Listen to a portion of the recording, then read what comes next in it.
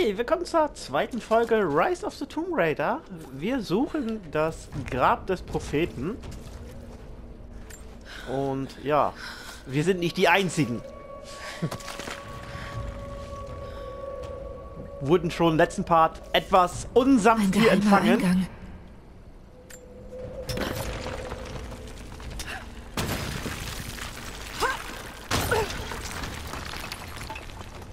Aber wir konnten die Situation überleben. Unglaublich. Wenn Dad das nur hätte sehen können. Sieht hammer mega geil aus. Dafür, dass das Spiel schon etwas älter ist.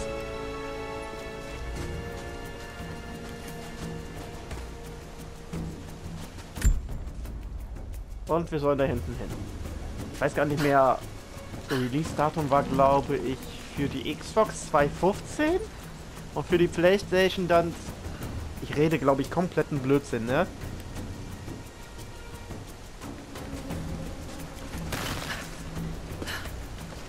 Ah, ich habe so einen Doppelschwung, okay.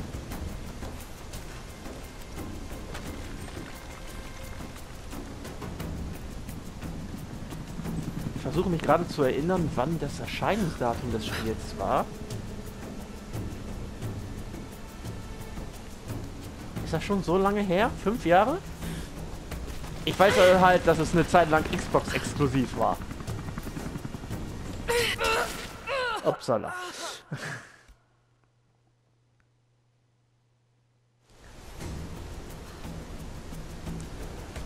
Ja, kann gegebenenfalls jemand, der das weiß, ja in die Kommentare schreiben. Ich meine 2015, 2016, irgendwie um den Dreh. Also gute vier Jahre oder fünf Jahre schon her.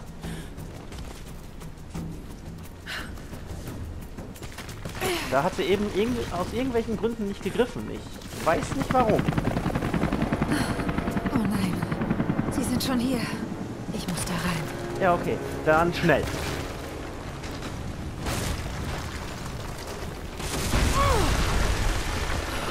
Mit Trinity ist nicht zu spaßen, wie wir im letzten Part erfahren haben.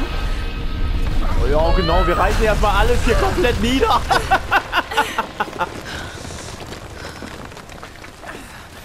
okay. Kommt wenigstens keiner mir hinterher. Das ist ja auch was Gutes. Aber ich komme auch nicht zurück. Ach, Rückweg. Wir brauchen sowas schon. Wir schauen nur nach vorne.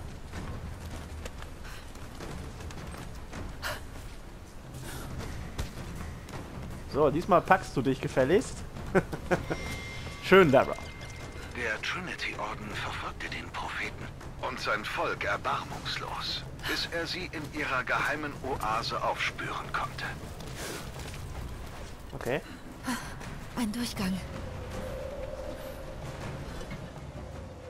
Mit ihren Hubschrauber kommen sie hier nicht rein. Das ist schon mal was Gutes.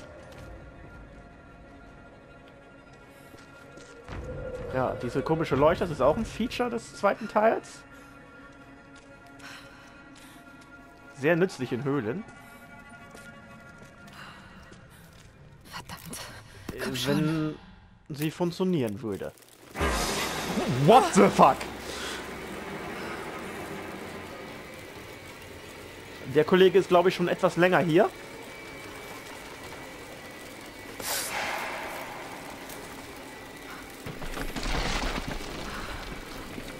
Boah, diese ganzen Skorpione, ne? Also wenn die um mich so rum wäre, ich hätte da tierisch Schiss vor, dass die mich angreifen.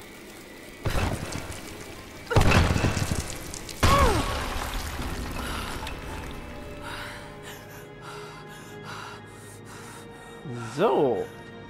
Jetzt sind wir, glaube ich... ein Kampf. Bewaffnete Soldaten gegen religiöse Pilger. Jetzt sind wir, Der Trinity-Orden. In Grab selber drin. So. Wir nehmen mal alles hier schön gründlich unter die Lupe. Ihr kennt meine Verpeiltheit, also... Braucht euch nicht wundern, wenn ich Sachen vergesse. So. Was ist eigentlich die Herausforderung hier in Grab? Ich habe ja schon ein bisschen was gefunden. Aber ich weiß nichts von der Herausforderung. Meistens sind Herausforderungen Sachen, wo man einfach Sachen irgendwie abschießen muss oder mit Fackeln entzünden. Irgendwie sowas halt immer, ne? Der Prophet, ermordet durch den Trinity-Orden. Echt? Gibt's die schon so lange? Okay. Dann ist es sehr traurig, dass sie immer noch sein Grab nicht gefunden haben. Und wir führen sie wahrscheinlich jetzt direkt dazu. So, was haben wir hier? Mein Sohn, der Trinity-Orden hat erfahren, dass die Anhänger des Propheten ein großes Grab bauen. Bei einer Oase außerhalb Berias. Noch beunruhigender ist, wir dachten, dass sie das Grab für ihren Propheten bauen. Aber Trinity glaubt jetzt, dass er noch lebt. Offenbar predigt er seine Irrlehren den Einheimischen und gewinnt mit Geschichten seines Sieges über den Tod täglich mehr Anhänger. Er ist ein Lügner, ein Ketzer, der Wunder beansprucht, die nur Gott vollbringt. Du hast geschworen, er sei tot. Hast du uns getäuscht? Das erinnert schon ein bisschen an den ersten Teil. Da gab es ja auch so einen, einen Typen, der Gott spielen wollte. Messias hieß er, glaube ich. Aber ich finde es cool, dass die Dokumente so von äh, Synchronsprechern vorgelesen werden. Dann muss ich das nämlich nicht machen. Okay. Verdammt, das war echt knapp. Oh ja. Moment, wir kriegen, glaube ich, hier... Guckt doch... Ja, okay, jetzt hat sie sich nicht mehr gebückt, aber eben war die Pfeilspitze fast an meinen Hals, würde ich sagen. Ah, okay, das kann ich kurz schießen. Wo kann ich überhaupt sehen, wie viel Muni ich habe? Oder ist das noch nicht relevant? Sie hat doch nur eine Pistole. Ich habe unendlich Muni. Warum? Daran kann ich mich null erinnern, Leute. Ich meine, man hat begrenzte Munition. Sie sprengen sich den Weg frei. Okay. Hoffentlich stürzt hier nichts ein, während ich hier noch drin bin. Ich musste es erwähnen. Okay, das scheint unser erster Rätselraum zu sein. Dafür ist der Tomb Raider bekannt. In den alten Teilen ein bisschen kniffliger als in den neueren, aber immer noch okay, wie ich finde. Muss ich das runterschießen? Ja.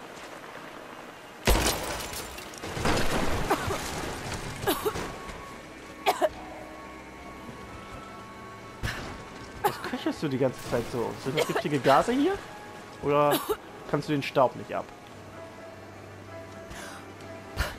Hä? Muss ich da nicht hochspringen?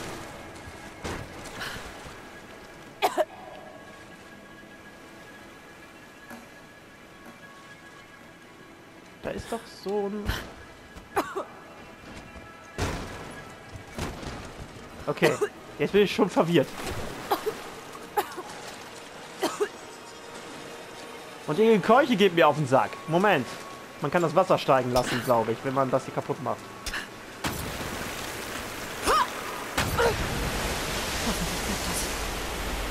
Ich sollte vielleicht auch öfter, äh, öfter meinen rechten Analogstick benutzen und mir das hier so anzeigen lassen. Wenn man mal nicht weiterkommt, hilft das schon sehr. Jetzt kommen wir auf eine Ebene höher. Okay. Aber Lara, erstmal die Haare machen, ne? Man ist kurz vor Sterben, aber die Haare sind wichtig. Okay, hier scheint nichts mehr zu sein. Jedenfalls hoffe ich das. Das ist ein Point of No Return, ne? Jupp.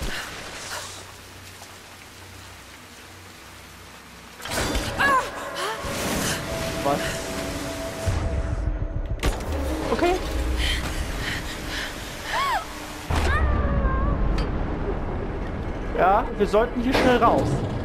Wir stolpern von einer Falle in die nächste. Das ist nicht gut. Ah, ich kann schnell schwimmen. Okay.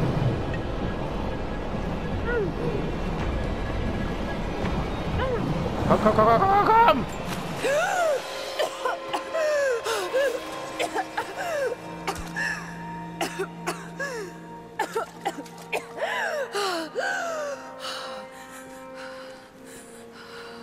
Schwimmen ist, glaube ich, auch im Vergleich zum Vorgänger ein neues Feature. Gab's, glaube ich, nicht. Steinig mich bitte nicht, wenn das falsch ist. Aber ich glaube, es war so. Unglaublich. Ja, es sieht echt wunderschön aus. Wenn ich richtig liege mit 2,15, das ist fünf Jahre her, also mega. So, da soll ich hin. Geht zur oberen Etage der Handelsgrabkammer. Äh, Hauptgrabkammer. Lernen lesen liegt das. Kann ich eigentlich tauchen? Kann ich schnell schwimmen? Anscheinend nicht. Okay. Ich muss irgendwie weiter hoch. Vielleicht den Wasserstand erhöhen. Ja, hier kann ich wieder eine Mauer zerballern. Gibt es hier noch irgendwie was Interessantes? Sind das die Herausforderungen da, diese Lampen? Ah ne, da oben. Ja. Sind sie. Ich hoffe, die gab es nicht schon vorher, weil dann habe ich welche verpasst, weil wir schon ja einen Point of No Return haben. Oder hatten.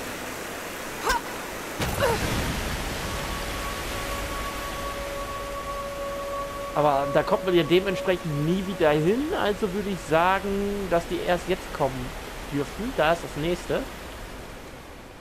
Achso, weil ich im Wasser bin, zählt sie nicht.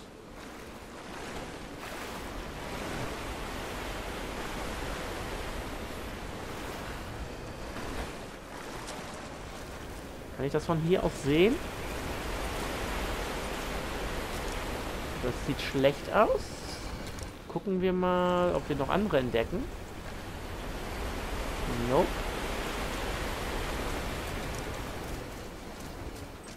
So, was muss ich hier machen? Kann ich daran hochklettern? Nein. Da kann ich rutschen. Ich muss den Wasserstand irgendwie erhöhen, damit ich da oben hinkomme. Das heißt, ich muss das irgendwie... Ah, okay.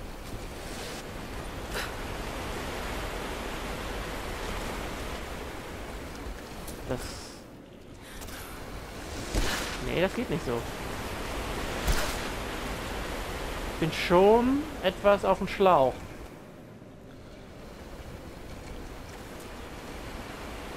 Da kann man da hoch. Das sieht nicht so aus. Ah, da kann man hoch, okay. Und da kann man auch hoch. So, von hier aus kriege ich aber die heraus... Ich habe die doch gesehen. Wo ist die? Ah, krieg das schon hin. Wie viel muss ich davon überhaupt finden? Das finde ich ein bisschen blöd, dass das mir nicht angezeigt wird, wie viel ich von diesen Fackeln abschießen muss. Ah, mir werden hier schon Verstecke angezeigt.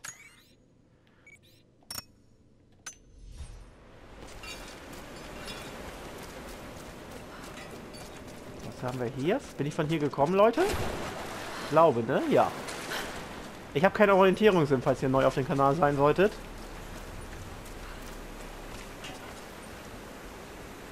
Könnt ihr euch schon mal drauf freuen. Okay, es fügt, glaube ich, keine Alternative an dieser Kletterpassage vorbei. Hm, schön mit Totenköpfen gespickt. Okay. So. Wo ist denn jetzt diese scheiß Lampe? Ich habe die von da, wo ich das Wasser kaputt gemacht habe, gesehen.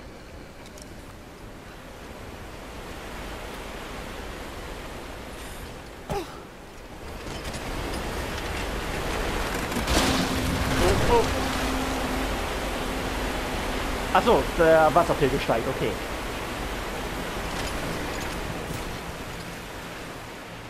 Wollte ich gerade sagen. Das müsste dann okay sein. So, hier haben wir... Was? Noch ein religiöses Symbol. Aber das hier ist simpel und handgemacht. Der Prophet muss Anhänger in allen Schichten gehabt haben. Ja, man kann halt solche Dinger finden, die man sich angucken kann. Und im ersten Teil war das so, wenn man sich das ein bisschen genauer anguckt, findet sie irgendwann noch ein anderes Geheimnis und man kriegt dann noch zusätzliche Erfahrungspunkte. Ist bei diesem Ding hier anscheinend irgendwie nicht der Fall. Ich weiß nicht mehr, ob es im zweiten Teil irgendwie weggefallen ist. Dass man sie sich öfter und genauer angucken soll.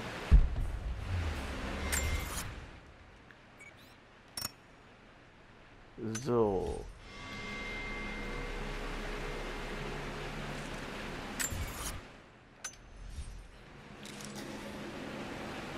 Ist das Herausforderung? Zwei von sieben. Okay. So, ich müsste jetzt auch die andere bekommen, oder? Da hängt was. Drei von sieben.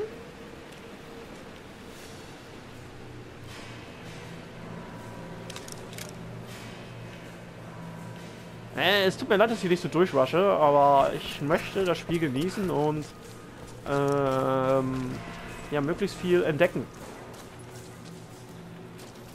Auch wenn ich nicht alles finden werde. So, dann können wir hier eine Ebene jetzt höher.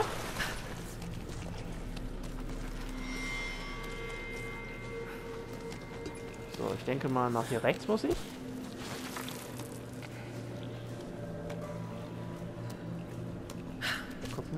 Hier was Interessantes drin ist. Das sieht so aus, als ob ich runterfalle. Da ist noch was, was wir wegschießen können.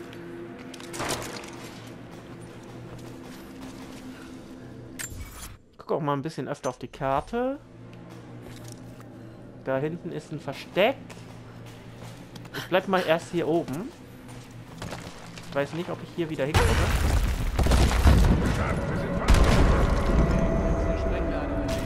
War das eine Falle? Sie sind fast drin. Und wir kriegen Besuch, aber ich werde mich trotzdem nicht beeilen. Was ist das da? Mein Herr, was Sie sagen, ist unmöglich. Ich selbst trieb einen Speer ins Herz des Propheten. Ich sah ihn sterben. Ohne Zweifel haben seine Leute jemand anderen in seine Robe gesteckt, um die Lügen weiter zu verbreiten. Sie sind gebrochen, diskreditiert und verbrannt. Wir ziehen nach Süden und erledigen den Rest seiner Leute. Aber der Prophet ist tot. Das schwöre ich. Wenn das so ist, wenn das mit dem ewigen Leben stimmt, dann könnte er doch ein Leben sein.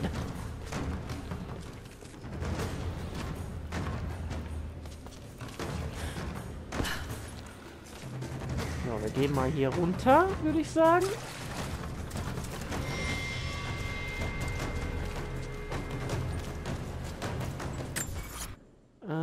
Da ist ein Münzversteck, das möchte ich gerne finden. Da oben, okay. Und was ist das da?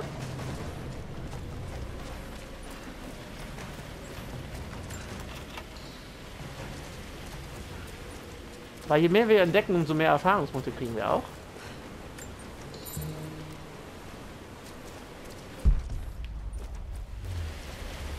Und das ist gut, um neue Fähigkeiten, glaube ich, freizuschalten. Aber das wird uns bestimmt noch erklärt. Wir sind in einer Art Tutorial noch.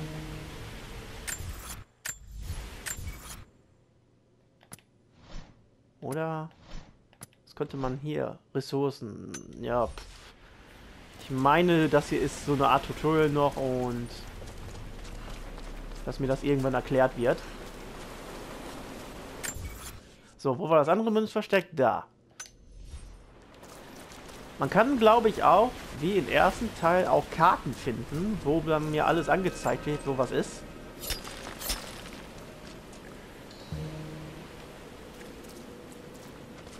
Zum Beispiel das da, das könnte eine Karte sein. Mein Herr, Nein. ich führe eine kleine Armee an. Treu, bewaffnet und bereit. Und ich habe gute Nachrichten. Wir haben das Grab des Propheten gefunden. Unterwegs wurden wir von Verrückten in der Tracht des Propheten angegriffen, aber sie waren schnell besiegt. Wir ließen einen entkommen und folgten ihm zurück zur Oase. Ob der Prophet dem Tod entkommen ist oder ein anderer seine Robe trägt, ist nicht von Belang. Alles darin wird vergehen. Und es wird endlich ein Grab werden. Okay. So, dann ist alles, was auf der Karte eingeblendet ist, erstmal in meinem... Ich kann noch ein Dokument finden, ein Relikt und die Herausforderung halt. Da muss ich noch sieben Dinge abschießen. Kann ich das da abschießen? Nein. Das da auch nicht. Das Gute ist, alles, was ich abschießen kann, wird mir rot eingeblendet. Da oben ist noch eins.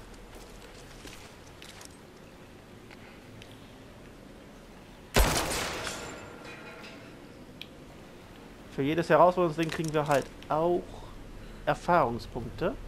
Deswegen bin ich so heiß da drauf.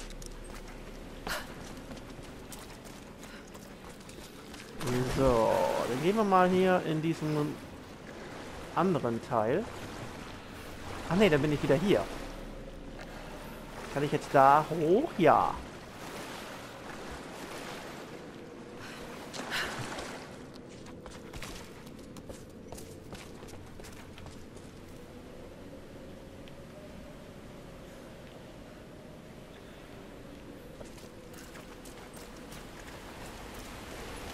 Irgendwas Besonderes hier? Das Wasser sieht ein bisschen strange aus. Nope.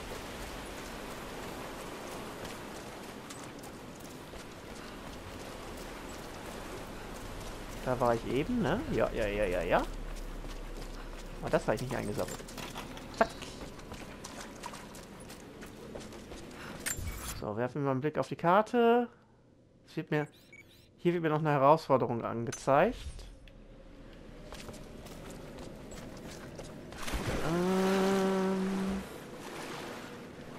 Ich weiß gerade nicht, wie ich weiter agieren soll.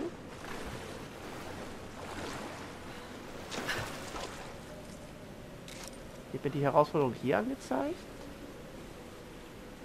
Ne, da ist nichts. Ich muss irgendwie nach oben kommen halt, ne?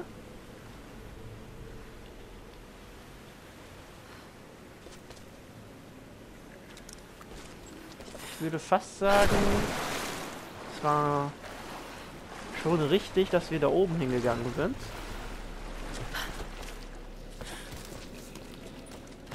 Da war halt die Stachelfalle.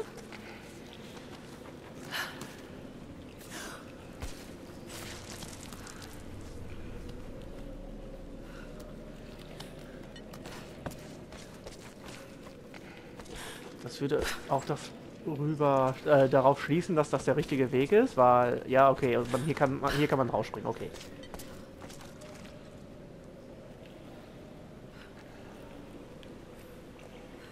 Und dann kommt man hier rüber.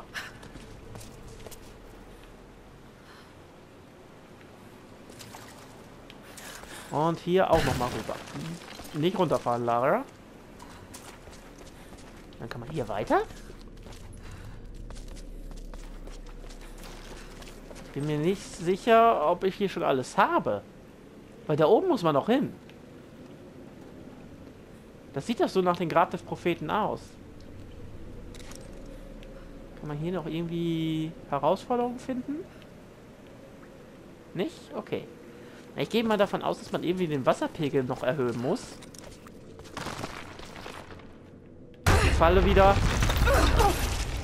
Warum ist sie nicht gesprungen? Ja, jetzt hat sie einen Pfeil im Hals. Ist schmerzhaft.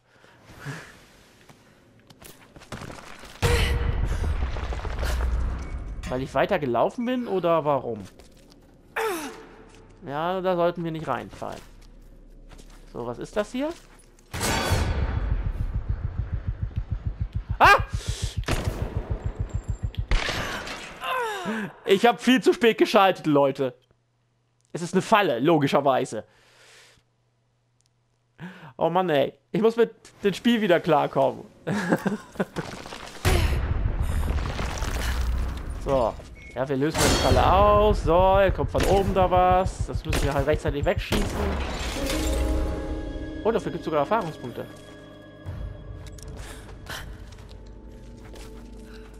Hm, diese Wandklitzereien deuten eigentlich sonst immer auf Kletterpassagen hin.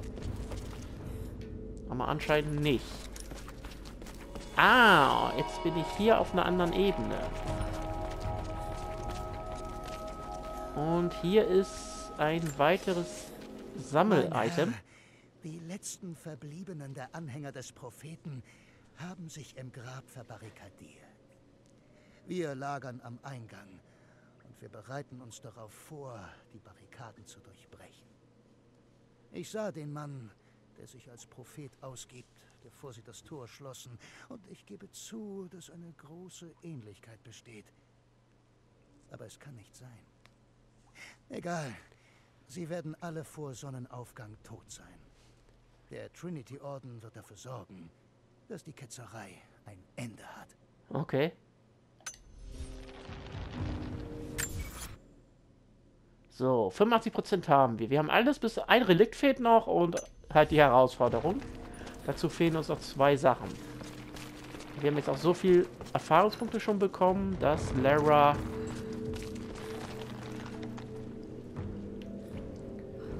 Griechisch Stufe 2 kann. So. Für mich sieht das so aus, als dass, wenn ich, wenn ich hier hinlaufe, dass ich runterrutsche. Darauf habe ich keinen Bock. So, das muss schnell gehen. Das Wasser muss steigen. Hä? Ah, das Münz versteckt.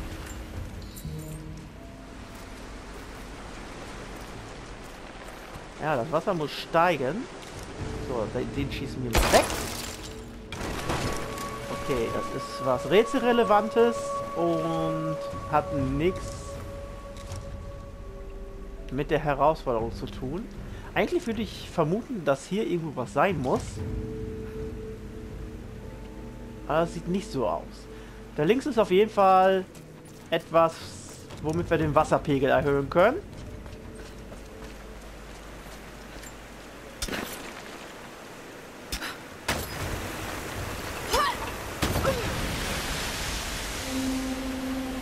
So.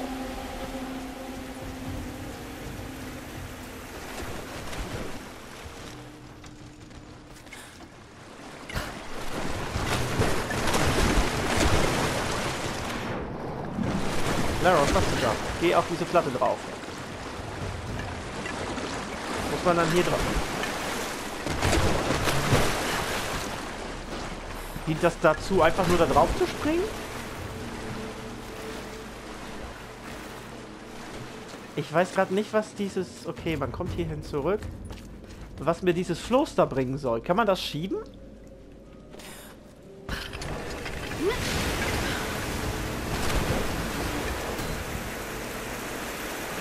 Ja, kann man. Indem man das Wasser öffnet.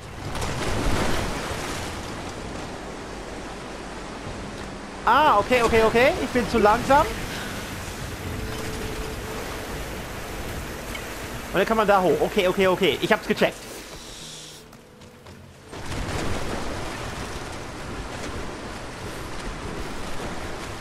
Okay. Was passiert, wenn ich da drauf springe?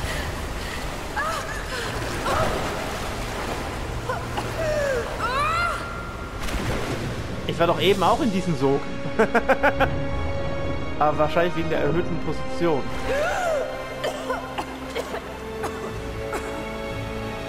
Ah, jetzt sind wir fast oben. Und bevor wir nach ganz oben gehen, machen wir einen kleinen Cut, Leute, und machen in der nächsten Folge weiter. Ich hoffe, es hat euch gefallen. Lasst doch gerne ein Like und ein Abo da und bis zum nächsten Mal. Ciao.